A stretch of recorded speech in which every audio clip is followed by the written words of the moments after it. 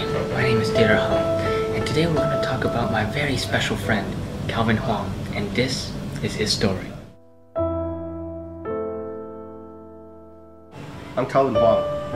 I was born in 1996 and I have a problem. Calvin Huang has been addicted to Moodle since 1992. His addiction started when he discovered instant messaging on Moodle. But it wasn't long before things started to get out of control.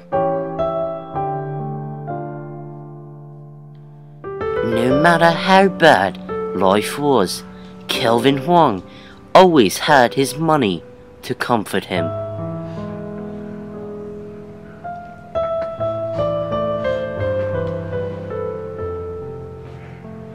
Because of his addiction, he lacked any sufficient gross motor skills in life whatsoever. Kelvin Huang could find no solace in real life, so he turned to his online identities.